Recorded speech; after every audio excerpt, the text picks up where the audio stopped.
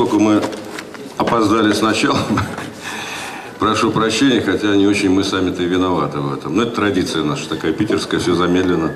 Начинайте поздно просыпаться. Значит, ну, я поздравляю вас с тем, что фестиваль независимого искусства состоялся. Вы сейчас находитесь в стенах инсталляции квартирной выставки, где висят работы художников, которые в 60-е, 70-е годы выставлялись по квартирам. Вот, и не были еще знакомы с теми, кто висит по внешнему обводу, которые выставились в ДК «Газа» и в ДК «Невский» 74-75 годы. Тем самым, в общем-то, начали, открыли, я бы сказал, и предвосхитили эру гласности, которая наступила значительно позже. 30 лет этому событию мы свой фестиваль посвятили именно этой дате. Но мне показалось, что кроме круглых столов по искусству, непосредственно именно здесь было бы интересно провести вот такое мероприятие, которое мы сегодня проводим, круглый стол, вот он здесь присутствует, по культурной политике, поскольку это набрюкло, набрякло, как хотите. Это вещь, о которой нужно уже не только говорить, а просто-напросто самим предлагать что-то конкретное для реализации, как минимум, на территории нашего города Петербурга. За последние, сколько там с перестройки-то, ну, 15, там 20 лет, народился огромный негосударственный сектор. То есть негосударственные, некоммерческие организации, часть из которых занимается культурой, например, как наше товарищество «Свободная культура», которые много сделали за это время, я бы сказал, сначала благодаря демократическим изменениям в стране, а сейчас, я бы сказал, уже много делается вопреки. Потому что ситуация свертывается, и что-то все тяжелее и тяжелее. Для примера могу сказать, что а, в городе в нашем только таких культурных центров, как Пушкинская 10, было около 10. Вот сейчас осталась только Пушкинская, и мне кажется, она осталась единственной на территории России, поскольку подобные культурные центры были еще и в Одессе, и в Киеве, хотя теперь это уже другая страна, естественно, в Москве, и там тоже уже ничего нет. Я считаю, что это печальный очень фактор, поскольку если сравнить с тем, что происходит во всем остальном цивилизованном мире, э, там приветствуется появление таких вот культурных центров. Э, эти культурные центры субсидируются государством, землей, районом и имеют возможность сами вести какую-то коммерческую деятельность, чтобы поддерживать э, свою культурную программу. У нас как-то все свелось, вот Пушкинский, это как теперь как назвали вот в этом вот журнале, неплохом журнале «Национальный э, парк» по типу национальных парков, заповедников в Америке, например. Вот мы стали таким. Нам совершенно не хочется, чтобы это было так. Поэтому сегодня мы созвали здесь разных людей, представителей и государственных структур, и некоммерческих организаций негосударственных. И основой, конечно, их являются организаторы. Организаторы этого фестиваля, поскольку это не только товарищество «Свободная культура», вот, а в организаторы еще входит Институт культурных программ, входит Леонтьевский центр и э, организация поддержки некоммерческих, негосударственных организаций. Вот это вот тот костяк, который решил, что в состоянии что-то, наверное, предложить в плане реорганизации некоторых, может быть, даже структур городских. За ним необходимо сделать ну, некоторые короткие доклады о состоянии этой самой культуры, о которой на всех предыдущих форумах не говорилось абсолютно ничего. И поэтому сейчас я передам слово Андрею Зонину, Институт культурных программ, он начнет. Спасибо. Я так, так, я так понимаю, что это трансляция на Исаакиевскую площадь идет прямо отсюда, поэтому с микрофоном. Значит, мы предложили вашему вниманию вот такой листочек.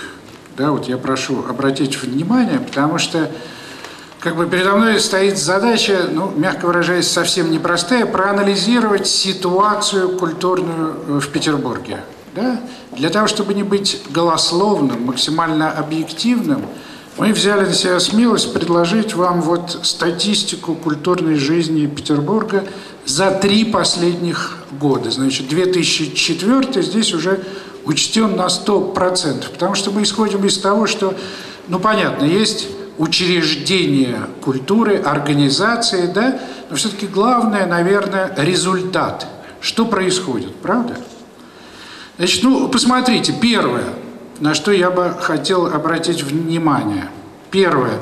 Были, да, конечно, был пик в юбилейном 2003 году. Это совершенно понятно, было больше финансирования, было больше внимания, и город сделал, ну, может быть, на мой взгляд, не блестящий, всегда можно сделать что-то лучше, но сделал очень неплохой пиар в мире. Да? Картинка Петербурга благодаря культуре, благодаря президенту России, благодаря саммитам, она была по всему миру. Это очень важно. Значит, все мы хотели бы, чтобы вот этот потенциал накопленный был использован, да?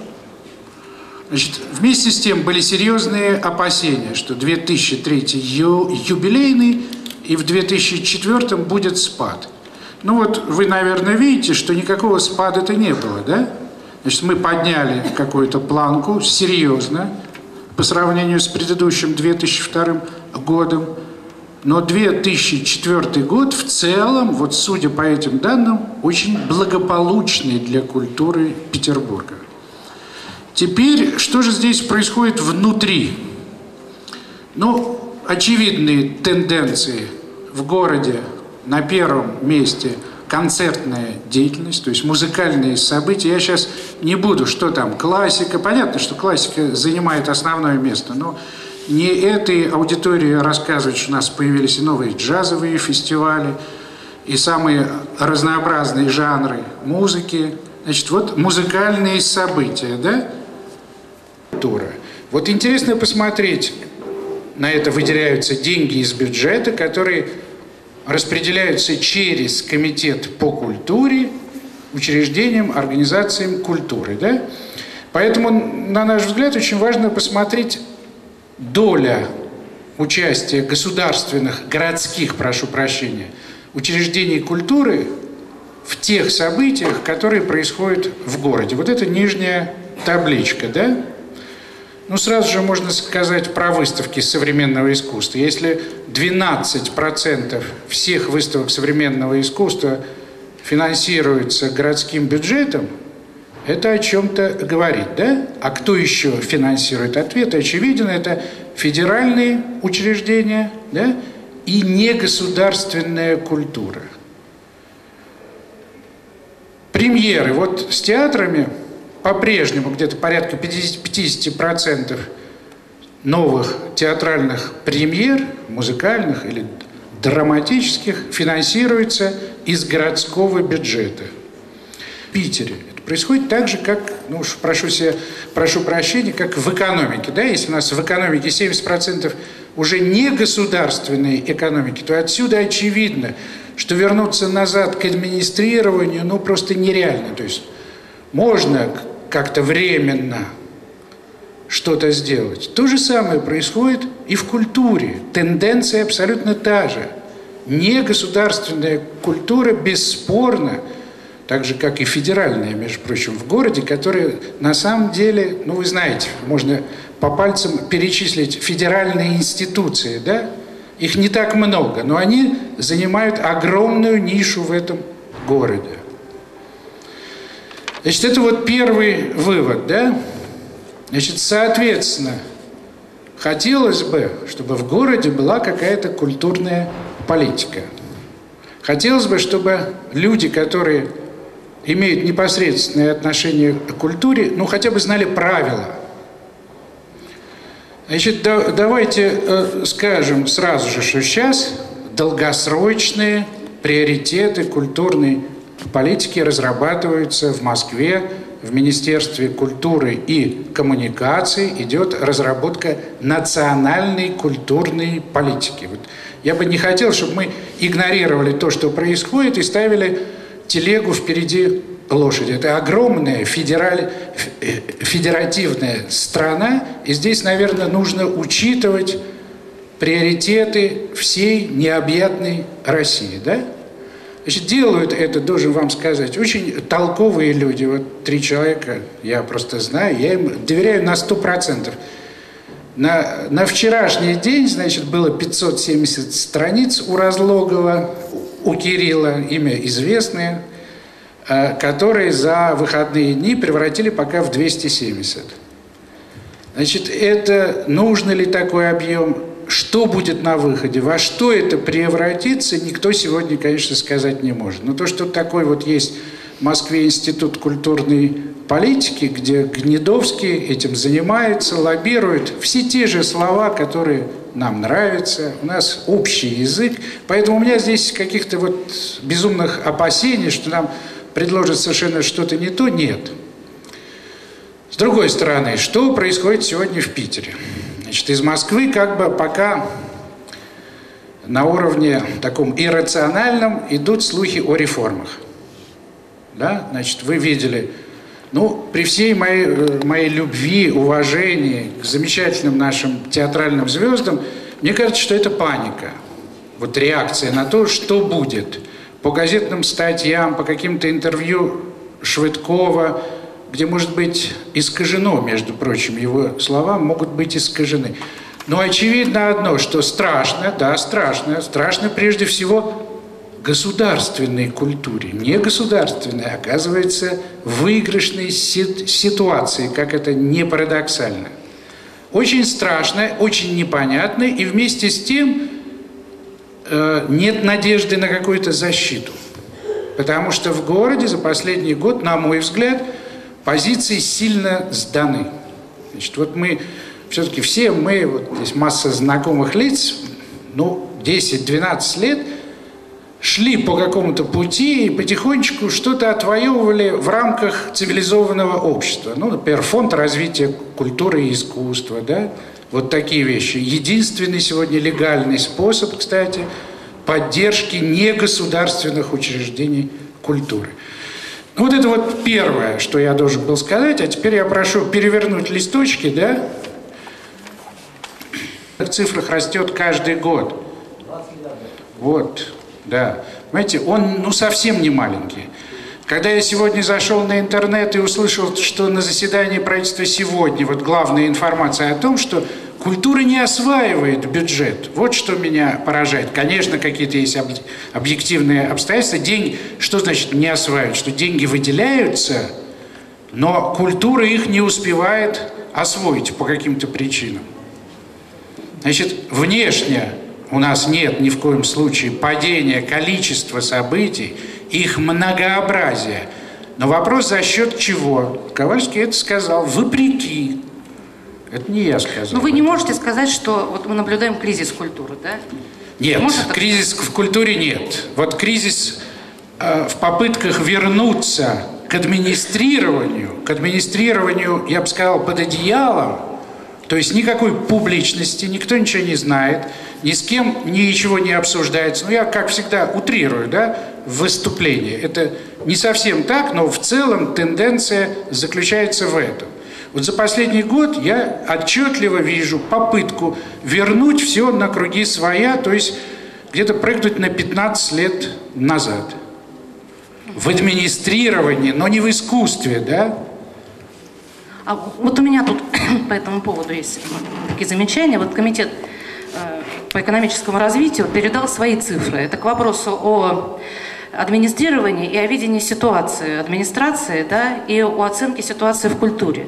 вот все-таки, что бы там ни было, Андрей Сергеевич говорит о том, что да, денег не хватает, все очень тяжело, мы поднимаем внутренние ресурсы, связанные с человеческим фактором, вот, но тем не менее ситуацию кризисной и культурной назвать нельзя. Да?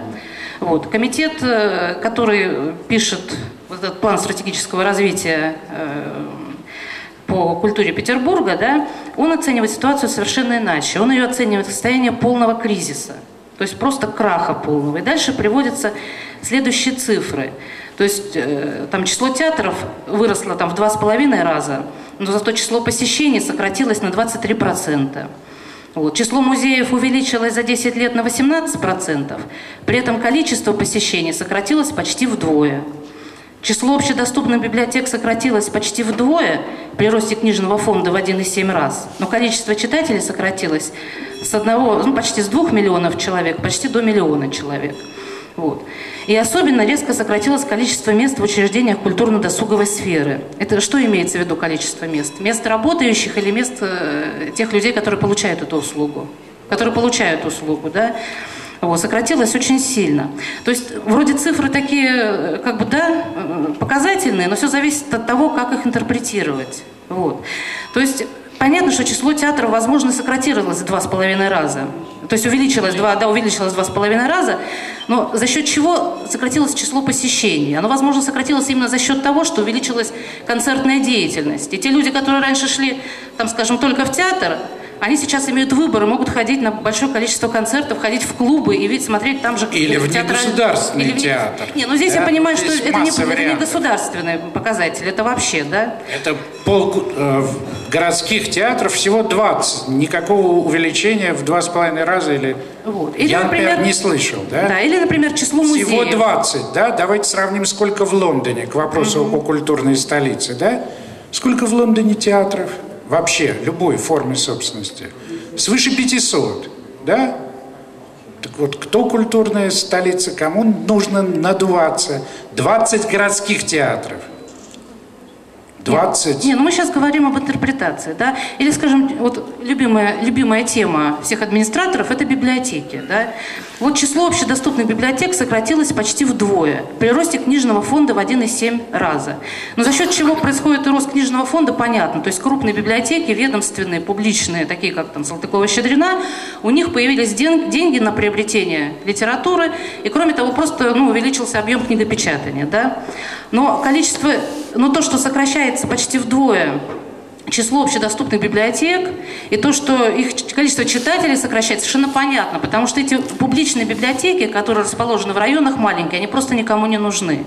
Вот. Во-первых, увеличивается число людей, которые получают информацию не из книг, а из интернета и из других средств информации. Да? И во-вторых, эти публичные библиотеки, которые расположены в районах, они работают тогда, когда никто их посещать не может. Вот, и там нет книг.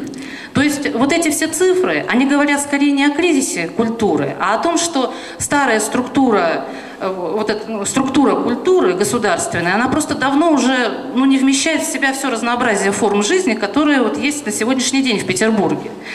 Вот. И поэтому э, измерять культурную ситуацию вот по этим старым показателям, которые здесь приводятся, ну это, по крайней мере, э, ну, бессмысленно, да, если не употреблять другого слова. Вот. И, а из этого что следует далее, вот из этого вступления? Из этого вступления следует, что получив вот такие цифры, те э, органы, которые делают эту оценку, они сделают свои выводы о том, какая должна быть культурная политика. И уже исходя из этой придуманной на основе вот этих цифр культурной политики, они предложат нам новые стандарты развития, да, там новые программы. И вот по этим идиотским программам, которые выведены вот из этой вот костной схемы, которая относится к 90-му году, нам предложат жить, дальше развиваться. Да? Вот. Собственно, вот что я хотела сказать по этому поводу. Да, у меня есть еще. Но с другой стороны, все равно как бы с, с властью уже сотрудничать нужно, правильно, да? Вот, а, ну- поэтому, а нужно ли, смотря с какой властью? ну, какая есть. Вот, поэтому я думаю, что наша задача сегодня, да, попытаться, ну, как бы найти какой-то консенсус, да, и проработать в каком-то таком деловом режиме на этом круглом столе, чтобы, во-первых, все-таки попытаться донести до представителей власти, как мы видим слабые места да, культурной сферы, как мы видим вызовы, которые нам предлагает будущее вот в области культуры, и в связи с этим, как, какие мы видим приоритеты в культурной политике, и уже на основе вот этих э, как бы, вид, увиденных нами приоритетов уже выстраивать э, конкретные организационные шаги да, по реализации этой культурной политики, по компенсации этих вызовов и так далее. Вот у меня вот такое предложение. Ура! Комиссии по культуре законодательного собрания Сергею Андрееву. Спасибо, уважаемые друзья. Я, к сожалению, но я должен буду уехать, потому что тут некоторые похоронные мероприятия, на которых я просто обязан присутствовать. И я хотел сразу довести до вас просто информацию в таком системном ключе. То, что у нас вот действительно не существует приоритетов, это факт в области культурной политики, особенно за последнее время. И вот эта бессистемность приводит к тому, что огромные средства, выделяемые на культуру, они расходуются не на э, то, что хотелось бы, а в воздух выстрел происходит, типа салюта. И мы имеем э, то, что имеем. Могу сказать, что действительно огромные средства сейчас государственной по линии комитета по культуре были закачаны в капитальные ремонты объектов культуры типа дворцов, вот, в которых находятся театры. Это просто вы должны знать, что на сами мероприятия было меньше, потому что в капремонты больше. Но это действительно было нужно. Теперь что делать дальше, не знает никто. Значит, в этой связи предлагается а, вот сейчас я как раз и в комиссии, мы с коллегами работаем над концепцией, которая будет определять и приоритеты, и финансы. Данные, значит, уже по линии э, культурного развития. Их три, как видится здесь. Первое – это развитие точек роста мирового уровня нашего Санкт-Петербурга. Я говорю о культуре в целом. Тут, наверное, объяснять не надо. У нас есть действительно эти точки роста. У нас есть и э, балет, у нас есть и опера, и у нас есть Эрмитаж – и это тот уровень, который должен представительствовать и тянуть за собой э, уровень культуры в России вообще. Вторая часть – это то, что называется культура, э, ну, уже массовая. Да? И здесь мы говорим в том числе и о навязывании нашему уважаемому сообществу некоторых культурных ценностей, которого, которых они лишаются по ходу жизни вообще. Вы понимаете, что я говорю об общем э, оскотинивании нашего населения – и если нам не говорить о том, что эта э, позиция должна быть высмеяна, выдавлена, причем я могу сказать, какими способами мы предлагали и в чем начали действовать. Есть такая программа межотраслевая, называется «Культура горожан. Культура Петербурга», где закачанные в разные комитеты средства объединялись одним неким пулом, выливающимся в теле- радиопередачи. Например, э, если речь э, вести о, например, культуре русского языка, деньги туда были даны специалистам – а выйти должна была передача типа «Радио няня», если вы помните такая, да? Вот где маленьким и средним людям объясняется, э, что такое культурная русская языка. На простых человеческих примерах. И где, э, вот маленький такой пример изыска, скажем, э, передача о том, что везде установлены видеокамеры, где бы вы ни были, есть макеты видеокамер, ну ящики просто стоят, а некоторые работающие, где вас в момент совершения вами значит, непотребного акта, типа бросания окурка или банки, или э, оскорбления окружающих своими матерными выражениями, просто снимают и показывают э, вместе с изображением свиньи на экране. И на завтра все знают, что вы-то как раз вот свинья, и над вами начинают смеяться. Причем вы ходите и не знаете, где видеокамера. А поскольку каждый день показывают очередных свиней, то, значит, вы как бы перед тем, как вот высморкаться в рукав, вы как бы хотя бы оглянетесь. Может быть, и не сделаете это, а платочком аккуратненько промокнете себе губки. Вот эта маленькая деталь, я вам э, Поймите, это смешно, но, по крайней мере, это действенно. И мы уже договорились и с телевидением, и с теми, кто будет изготавливать. Какие которые... же они малые? Я имею в виду моноспектакли. Это имеется в виду театральная деятельность. Э, фестивали фильмов короткометражных. Это другая совершенно деятельность. Это ваши крупные и малые выставки которые, к сожалению, не финансируются. И я здесь могу вам доложить, что налетел на сопротивление на всех уровнях. В комитете по культуре, у наших э, братьев-депутатов, которые в Пушкинскую 10 называют бомжатником. И на этом основании провалены поправки на следующий год финансирования, которые были мною внесены от комиссии. А это те бомжатники. Так вот, не изволя даже прийти на эту выставку, люди позволяют себе от микрофона в зале такие суждения. И вот эта э, позиция не перейдена Не переданы. Это общее мнение, которое нужно ломать э, именно концептуально. Нужно ломать тем, что мы утвердим эту концепцию как правительственный государственный документ. И там должны быть прописаны вот эти приоритеты. Ну и э, могу вам сказать, что мы сейчас делаем еще одно силовое усилие. Это перечень тех мероприятий, которые обязаны быть ежегодно профинансированы в городе, в том числе в рамках фестиваля, и в том числе обязательные э, выставки именно по вашей части, именно по Пушкинской 10. Потому что если эту последнюю, э, так сказать, бутылку загнуть пробкой, фактически мы прекратим целое направление, целую отдушину художественной жизни, которую прекращать нельзя, потому что иначе зачем вообще все это начиналось. И вот закон об обязательных э, мероприятиях, финансируемых за счет бюджета Санкт-Петербурга, ежегодных, это раз. Арендные ставки. Вы знаете, какая сейчас идет борьба и что нам внесли в качестве, то есть подарочка от э, Куги, от Валентины Ивановны, значит, это мероприятие, которые говорят, что если вы э, э, находитесь в центре города, то, э, соответственно, платите по полной программе. Все социальные коэффициенты летят. И нам удалось путем силового давления э, на органы исполнительной власти фактически принудить пока приостановиться. Но это пока, оно нависает над нами, к сожалению, как домоклов меч. Наша комиссия сейчас выносит закон о том, чтобы эти коэффициенты оставить такими, какими они есть и создать специальный фонд по площадям, который будет занимать примерно 2 миллиона метров, на который могут претендовать те, кто там сейчас находится, льготные категории, в том числе художники. И вот такого рода борьба, она ведется повсеместно. Что могу сказать в заключение? У нас, я называю это, пришли ребята с холодными глазами. По доллару в каждом, и никакого отношения к художественной культурной и действительности и вообще к движениям души они не имеют и иметь по определению не будут. Им отдано на откуп все, э, отдан на откуп э, имущественный комплекс города. Я уже не говорю там о финансах. Эти люди сделают все, чтобы э, все, э, так сказать, шевелящиеся в плане душевных движений предметы были оттуда изъяты и заменены доходными, доходными статьями. Это публичные дома, казино, ну и э, магазины э, типа бутиков, да, я полагаю, что шахматных клубов там не будет. Поэтому, э, если так, то мы должны понимать, что подобного рода политику надо встречать силовым встречным воздействием, системным, не воплями в воздух, а именно действиями, направленными на создание вот таких приоритетов. Поэтому мне бы очень хотелось, чтобы итоговые документы сегодняшнего совещания попали к нам в комиссию, я буду об этом просить, чтобы мы на основе их делали концепцию, которая нужна городу, а не о том, о чем будут думать чиновники. А под это финансирование фактически пробить будет можно. Сейчас дается оно на культуру, но чтобы оно не ушло в песок, его нужно системно направить на точки роста. На совместные как бы государственно-негосударственные проекты, если хотите.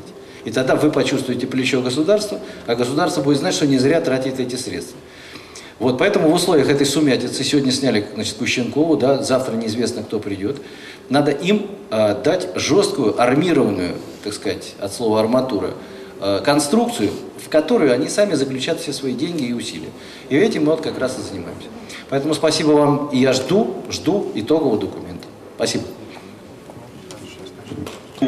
Э, программу стратегическую, кто, собственно говоря, мы. То есть опять то самое государство, те представители, которые уже не оправдали себя. Мы здесь собрались немножко по-другому, чтобы обозначить круг, кто на самом деле. Мы. Мы, те, кто уже успели что-то сделать за последние 20 лет. И доказали, что это возможно. Даже вопреки. Вот, а сейчас мне бы очень хотелось э, предоставить слово нашему гостю из Польши, э, консулу, профессору Херониму Грале, э, с которым мы много сотрудничаем. Вот, у него есть взгляд на то, как это смотрится оттуда, из-за границы, то, что делаем мы здесь, негосударственный сектор. Мне кажется, что это очень интересный момент, потому что лучше посмотреть на себя со стороны, чтобы лучше себя понять. Прошу вас. Друзья, в принципе, после двух прежних докладов мы находимся в таком пространстве, я бы сказал, между статистикой и похоронами. И моя, мой диагноз немножко это тоже напоминает. Я бы хотел немножко на полях того, что я успел теперь прочесть про эту, эту статистику, сказать что-нибудь про опыт нашей работы с культурой Петербурга за последние четыре года, особенно в юбилейном году.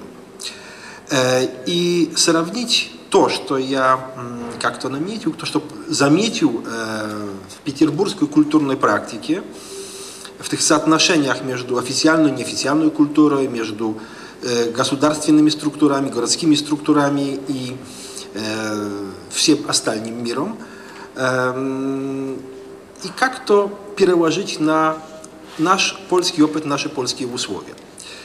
Э, Давайте начнем все-таки с статистики. Я посмотрел на эту статистику с большим уважением. Я как историк по профессии, которого обучали демографии и статистике, очень люблю э, эту науку, особенно с дня, когда мне еще на первых занятиях сказали, что статистика такая хитрая штука, когда можно доказать, что один гражданин наполовину мертв или гражданка наполовину девственница.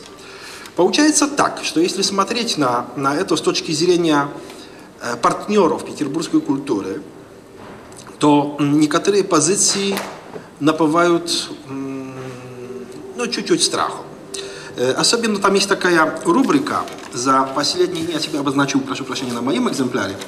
Есть такая рубрика м, э, 2003 год, юбилейный, самый страшный, я бы сказал, с точки зрения количества. Как раз количество здесь на месте. Я тоже хотел сказать, что документы плюс выступления, которые здесь были, позволяют нам вернуться э, к старой формуле, которую мы все помним, как э, количество должно, но не всегда переходит в качество. Э, Вы знаете, я посмотрел, во-первых, на это внушительное количество выставок, причем современного искусства. Знаете, этот прыжок, посмотрите, там есть интервал в нормальные годы на примерно 400 единиц э, между э, выставками с фондов музеев и современного искусства. И страшный рывок, э, практически 550 позиций, значит, практически на 40% э, исходной базы в юбилейном году. Это обозначает, что в эту статистику вливается без обозначения, простите, откровенность любая халтура. Это обозначает, что мы в какой-то степени эм, готовя э, такую общую, общий материал, не замечаем всех ловушек, где практически единица есть единица, независимо от своего уровня. Да, господин Андреев прав, что Эрмитаж, что опера, что балет, но, простите, э, за Россией уже несколько разных метаморфоз, за петербургской культурой тоже, Э, но Эрмитаж, балет и опера были тоже при государе. Так что прогрессом считать это невозможно. И то тоже тогда был мировой стандарт. Так что здесь не очень много поменялось. Знаете, и с точки зрения этой внушительной статистики, это 500 почти больше выставок современного искусства, чем других, можно посмотреть, и тут будет такое маленькое, маленькая дегрессия в адрес, например, Пушкинской 10. Эм, Случилось так, что в юбилейном году польская миссия, которая подготовила довольно большую программу, мы практически на северо-западе проводим в год 140-160 разных мероприятий. Э, И практически в юбилейном году этого было больше, чем 100 разных мероприятий в Петербурге одном. Э, В том э, разных экспозиций современного искусства около десятка.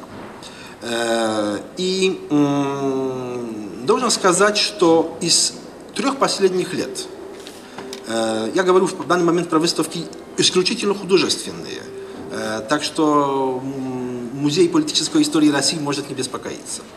Э, Что касается вот художественных выставок, действительно опыт работы с Пушкинской был эм, очень интересный и совсем другим, чем остальные опыты. Почему?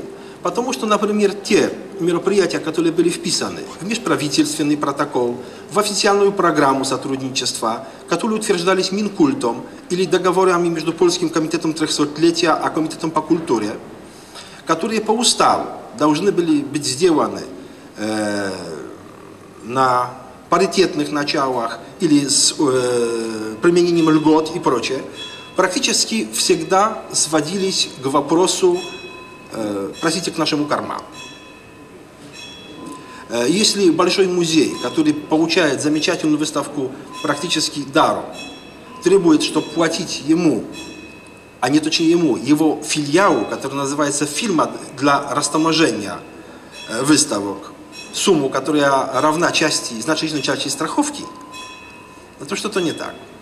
Э, И с точки зрения вот, опыта сотрудничества, я должен сказать, что, что это, конечно, что мы стали работать с Пушкинской, не является случайностью.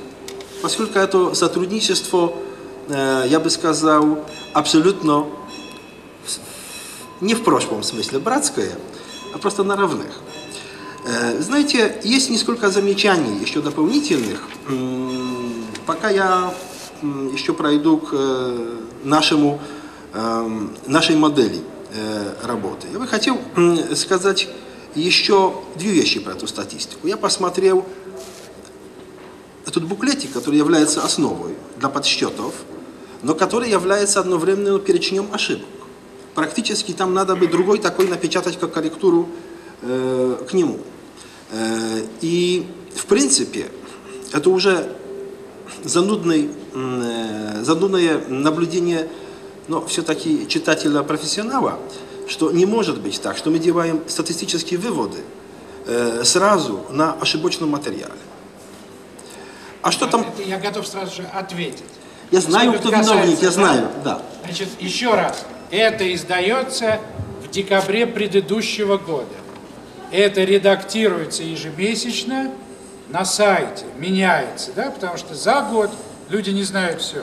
Поэтому я тут не могу согласиться, что это ошибочная база, Господ- потому что есть ежемесячные издания. Господин Зонин, за 12 лет не ввести, например, название фестиваля, который 12 лет в городе есть, э, фестиваль современного польского кино, где идет рабочее название «Неделя польского кино», когда э, он имеет свой, э, свое место в интернете, когда имеет свои афиши и прочее, но 12 лет, то что мы про месяц говорим. Но дело не в этом. Э, Дело в этом, что сроки тоже не те, это, это дело тоже не в этом. Что количество мероприятий в данных категориях не то, это намного страшнее, поскольку опять статистика не работает. Что нечеткий материал, неизвестно, что принадлежит Петербургу, а что Выборгу и Гатчине, например. Почему одни мероприятия Ленинградской области входят в состав, а другие не входят и так далее. Ну, бог с ним. Вернемся к фестивалю. Дамы и господа, с точки зрения опять зарубежных миссий, связанных с юбилеем, но которые работают не только во время юбилея, э, опять наш опыт. До юбилейного года, в 2002, еще были два кинофестиваля, в которые, с с которыми мы работали и в которых участвовал э, Комитет по культуре. В юбилейном году уже не было ни одного. Я не говорю про фестивали, в которых мы работаем, когда мы приносим фильм или привозим режиссера. Я говорим о, говорю о более, так скажем, внушительных вложениях. Значит, что-то сократилось. Э, Статистика не дает нам отчет об этом, что пропали некоторые, хотя вроде бы все растет, пропали некоторые мероприятия, которые уже давно вписались в, в календарь культурный города. Помните, кто просто перевернул э, бумагу в машинке, просто то пропало. Хотя было напечатано э, в буклете юбилейного года. Юбилей не состо... э, фестиваль не состоялся. Так или иначе, это все, это все, конечно, находит отражение э, именно в чем? В том, что миссии выходят напрямую, опять, на такие субъекты, с которыми можно работать напрямую. Я, конечно, это всегда рекомендую моим коллегам, поскольку это тот же самый принцип, который работает в Пскове, Архангельске, Мурманске, Владивостоке, везде, где мы работаем. Лучше работать непосредственно с такими организациями. Мало того, что с нашей точки зрения имеет определенное значение дешевле. И теперь о деньгах. Последнее уже, поскольку я тоже должен бежать. Знаете, есть такая особенность. Я когда-то пытался переложить польский язык э, спонсоринга культуры на петербургский опыт. Э, поскольку количество учреждений, которые одним или другим боком в Петербурге кормятся за счет государственного бюджета, по сути дела, довольно большое. С каким эффектом? Это другое дело. И какое было удивление моих петербургских партнеров-театралов, когда им сказал, что в Польше только четыре театры вообще имеют государственную дотацию. Что это обозначает? Что бюджет только четырех театров, которые имеют ранг национальных, составлен с большим но тоже не стопроцентное, участием госбюджета. Как тогда они выживают? Дело просто в том, что работает система поддержки администрации из муниципальных средств, с городских средств и довольно четкая система грантов. Система грантов, которая выросла в такую структуру разных институтов при Минкульте. Институт да, Мицкевича поддерживает литературу, Институт книги, переводы польской литературы за рубежом, Институт театра, э, театральные фестивали и театральные постановки, э, Институт Шопена, промоцию польской музыки за рубежом. И они имеют средства в своей, так скажем, части, и они разделяют грант. И это довольно жесткий конкурс. Но, но все-таки эти театры выживают этим э, Вы знаете, по сути дела, хотя я очень много читаю в культурной петербургской российской прессе о системе грантов, э, а наука этой системы я не вижу. Хотя, например, э, системы как раз управления музыкальной частью мы, конечно, можем России позавидовать. Но вопрос грантов для э, больших оркестров э, российских – это вопрос только прошлого года. Еще два года тому назад мы не завидовали. Э, знаете, мне кажется, что... Совершенно верно. Э, мне кажется, что, в принципе, и жалко, что господин Андреев сбежал, я когда услышал сумму бюджета на культуру, подумал, что это напоминает мне э, ну, почти бюджет нашего МИДа. Э, и подумал, что это означает, что в принципе на все, что есть в Петербурге, денег должно хватать так. Это, конечно, опять вовушка статистики. Но, может быть, э, это месть прошлого и главная проблема все-таки в распределении средств если они действительно есть в таком количестве. Поскольку бюджет на культуру, о котором я слышал, это, простите, годовой бюджет города Варшавы в целом. А он только два раза меньше э, демографически, чем Петербург. А по количеству учреждений культурных э, только на 30%. Спасибо.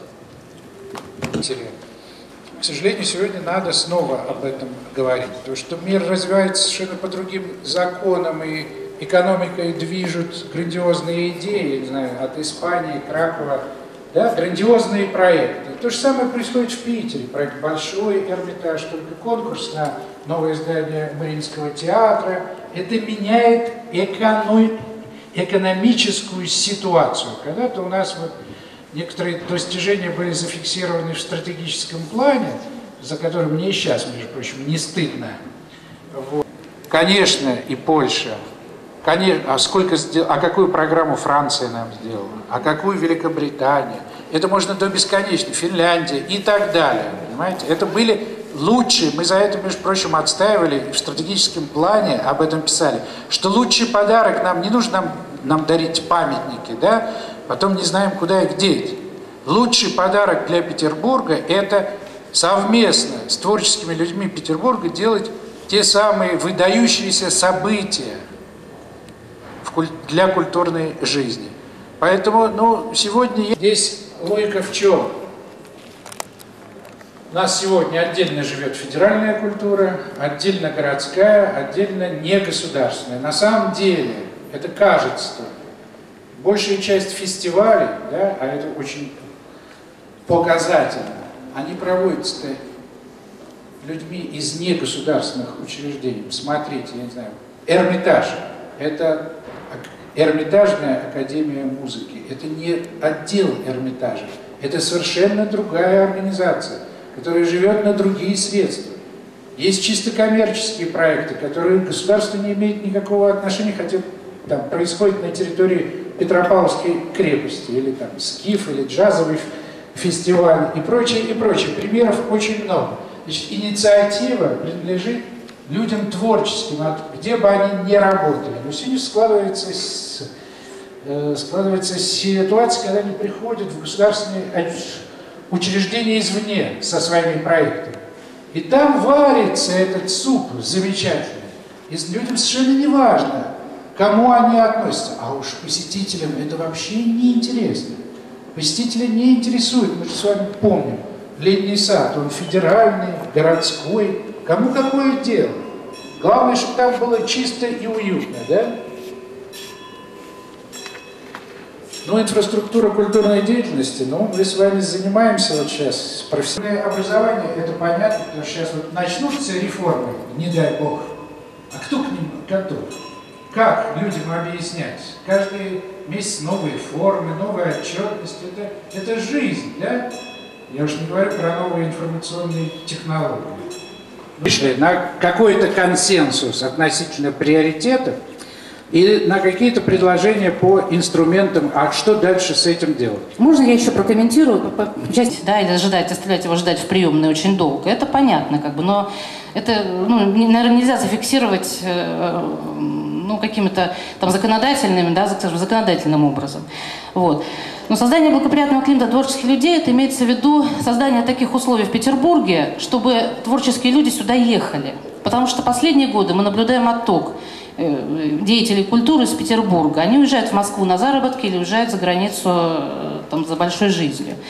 Вот. И вот этот вот отток, он на самом деле очень... Он, это трагическая ситуация во всех отношениях. Вот. Хотя известно, что, скажем, американские методики подсчета эффективности развития экономического и социального развития различных территорий, они учитывают такое понятие, как э, индекс креативности.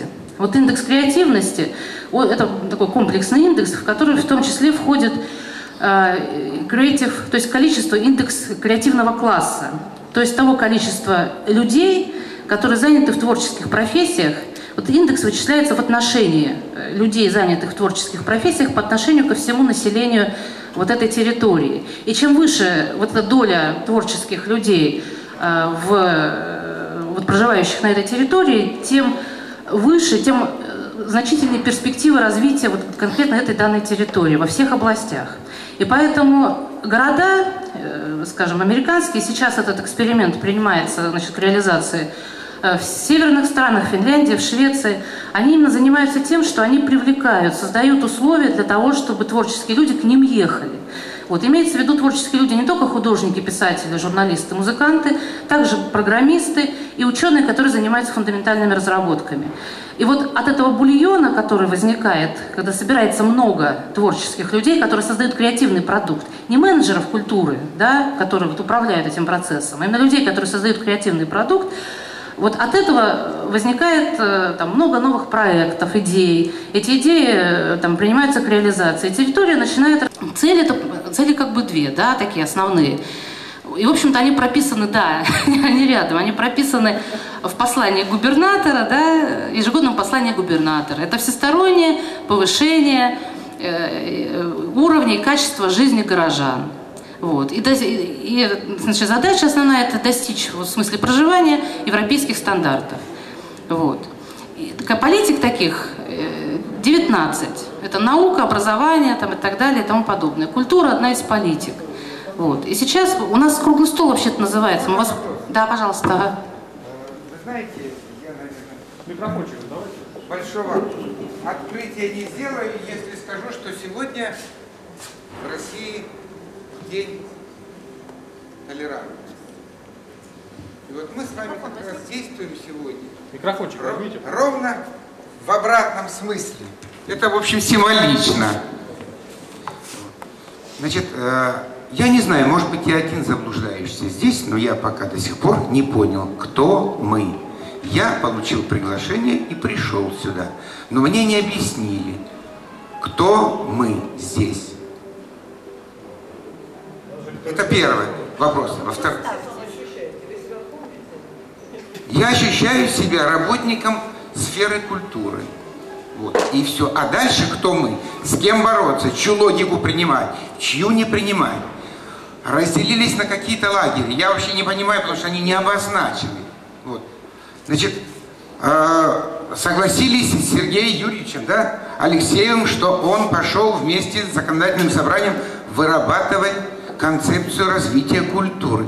Простите, законодательная власть должна заниматься защитой сферы культуры законодательным образом. Исполнительная власть должна создавать условия для того, чтобы приоритеты культурной политики, выработанные в городе, реализовывались с наибольшим эффектом. Каждый должен заниматься своим делом. Кризис не в культуре, кризис в головах. В головах тех, кто сегодня из себя изображает деятелей от культуры. Но ну, неужели мы это не понимаем? Мы друг друга сейчас с вами здесь убеждаем.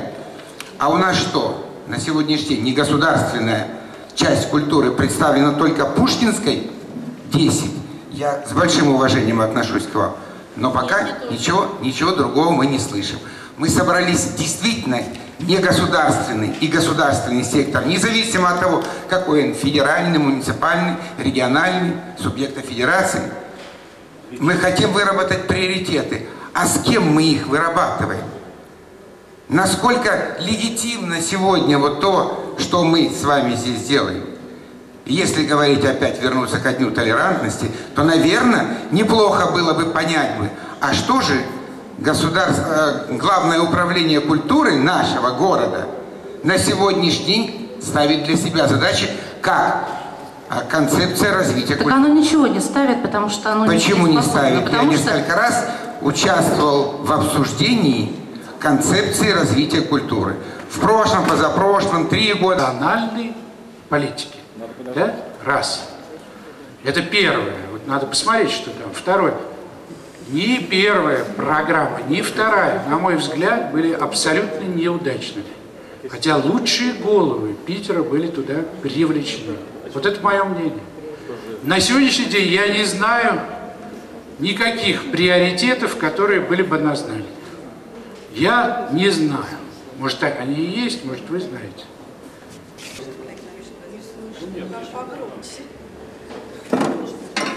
Не надо присутствуем не как должности.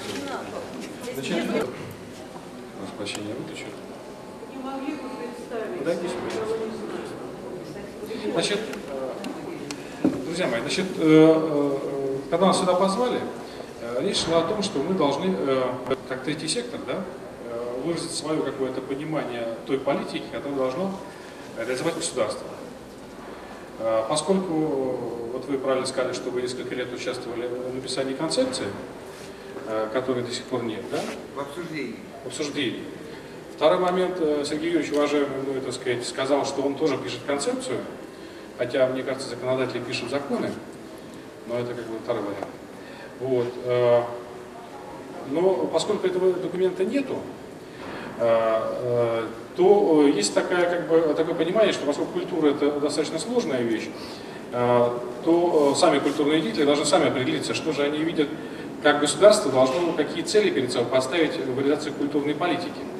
Зимний дворец, соответственно, Опять э, те вещи, которыми мы практически никак не гулять не можем, они были созданы до нас, э, существуют, в лучшем случае мы их можем не разрушать.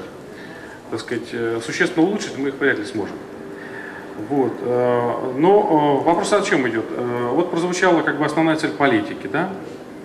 Ну, значит, выходит из, этой, из этого контекста, что обеспечение качества жизни, так сказать, европейских стандартов и так далее. Получается, что культура это некий как бы обеспечивающий инструмент то есть это, э, ну вот, что-то, так сказать, сбоку.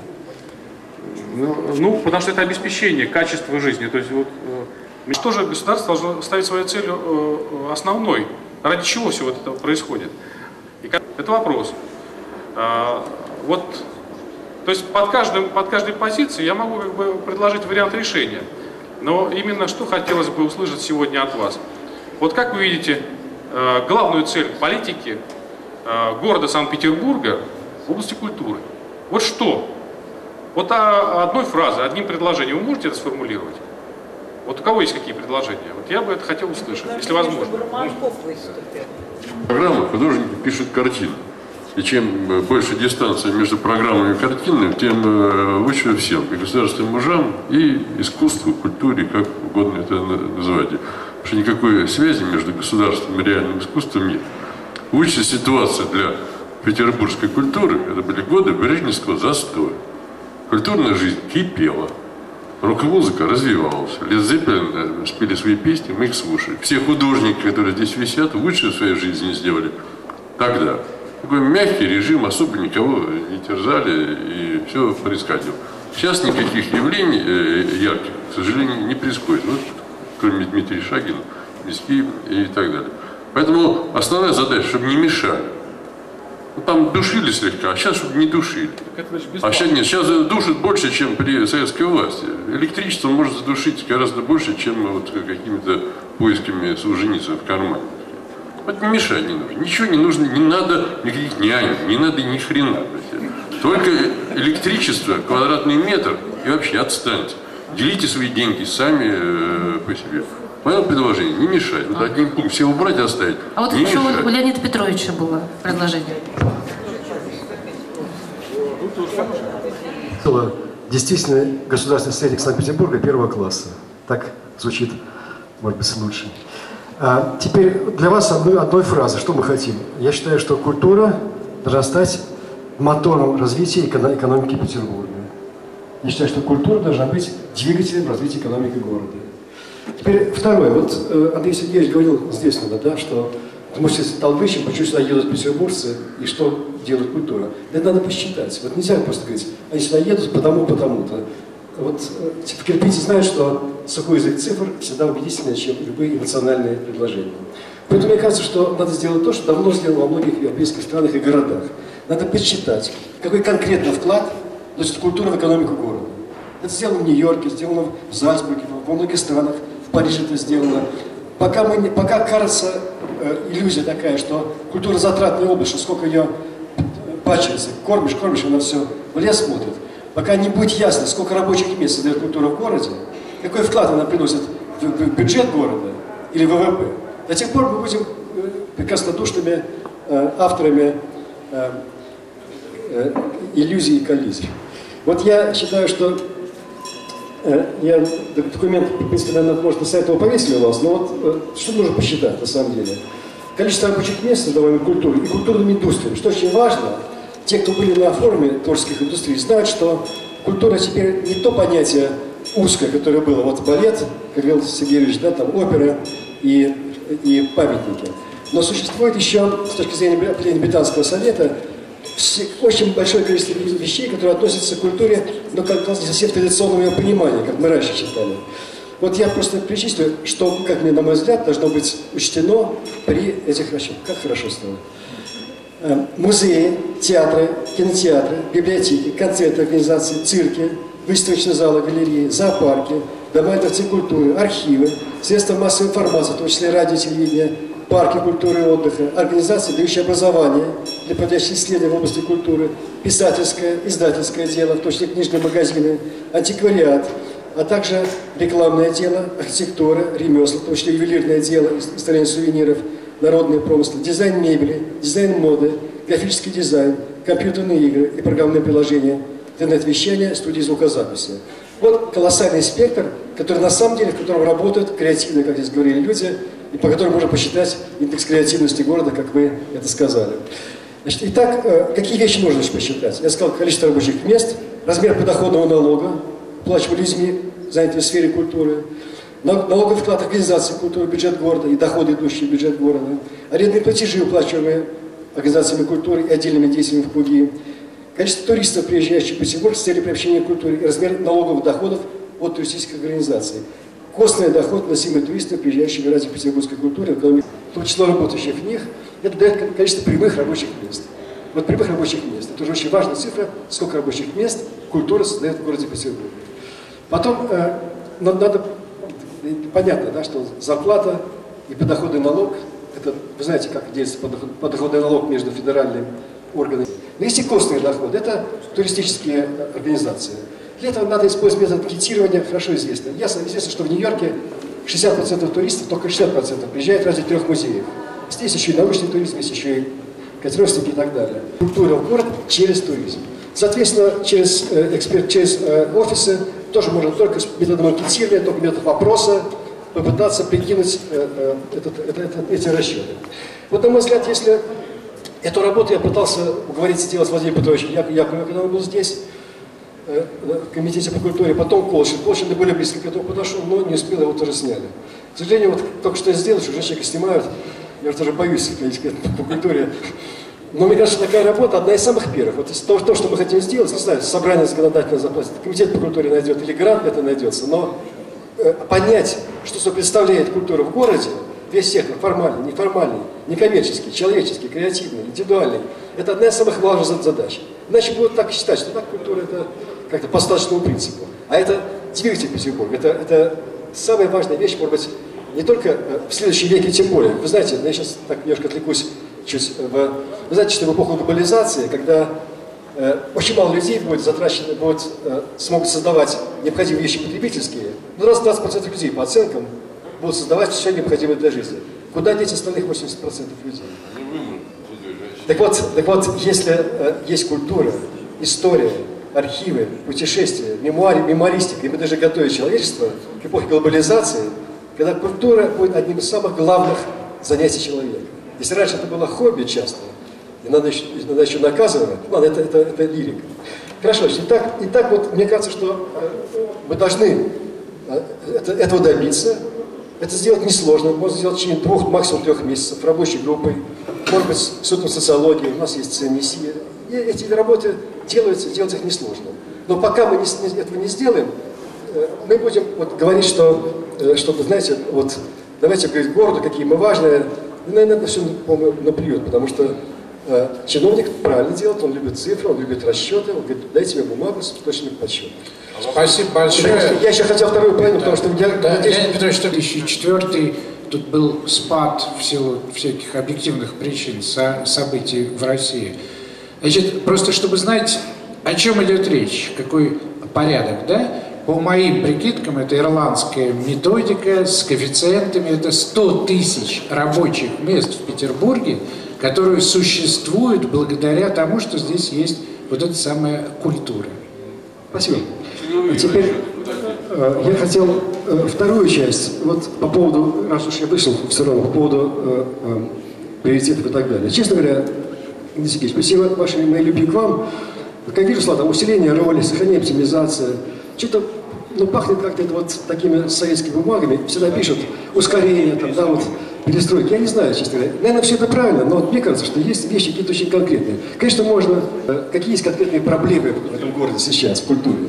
Ну, вот то, что я сказал первое, необходимо посчитать вклад, чтобы везде, во всех, Андреев, вы знаете, арендные платы, да, вот, вот театры, те, которые существуют в городе, если мы не, не потребуем, было написано в бумаге, мы приглашаем дать рекомендации комитетам профильным. Так давайте напишем, что если будут уничтожены коэффициенты социальной значимости, если в 10 раз поднимется арендная плата, у нас не будет ни государственных театров, у нас не будет ни государственных учреждений в, город, в центре города по меньшей мере. По меньшей мере. Потому что 75 УЕ за белый квадратный год это колясочная ВЖСК. 75 УЕ в центре? Нет, нет, нет, нет. Сейчас, сейчас в документе в городском проекте, если помещение стоит больше, чем 75 УЕ за метр квадратный в год, то льготы не предоставляются. Понимаете? Где бы они были, в центре или на западе, везде. Что была специальная программа поддержки творческой индустрии в сфере культуры. Это и оборотные средства, представление помещений, и реклама, и участие в выставках. То есть есть конкретные вещи, которые, например, включены в программу поддержки развития малого бизнеса в этом городе. Если мы больше не говорим слово «малый бизнес», применение к культуре, нас конкретные деньги, конкретные действия, конкретная программа в общей, в общей программе. Дальше. Вот э, я распределение, когда-то были экспертные, помните, советы были, потом они куда делись, стало более закрыто. Вот я сегодня написал четыре закона о грантах. Я считаю, что написать закон о грантах в области культуры. У нас есть гранты для общественных объединений, для, для социальной рекламы, для СМИ и для научных организаций. Вот должен быть э, закон о, о распределении грантов. Еще больше денег будет в этой сфере, тем больше будет шансов для негосударственных учреждений получать грантовую поддержку. Потому что закон